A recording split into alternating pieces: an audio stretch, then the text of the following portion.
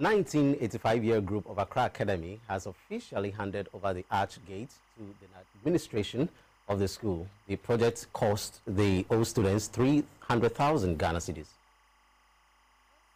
This is the arch gate of Accra Academy. In 2016, this edifice was commissioned by the 1985-year group at a cost of 300,000 Ghana cedis. Present at the official handing over ceremony where Supreme Court Judge Justice Jones Dotse board chairman of Accra Academy Senior High School, Mr. Wilson Tai, the headmaster, Reverend William Gar, the president of the 1985 year group, Mr. Isaac Bampuado, among others. The handing over ceremony was a prelude to the school's 88th speech and prize giving day celebration.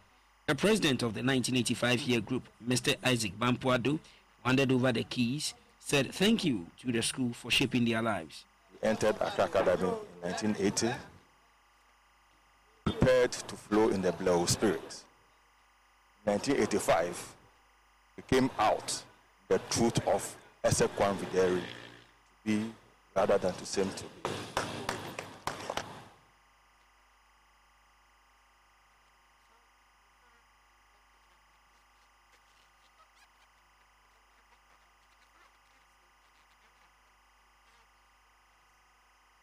Today's celebration goes way beyond today.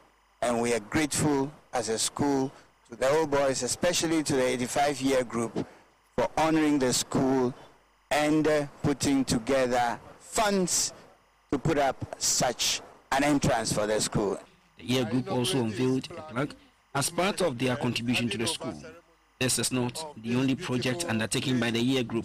They also undertook the Interact Square project, which has become a venue for ceremonial functions, including parades and an interactive place for visitors.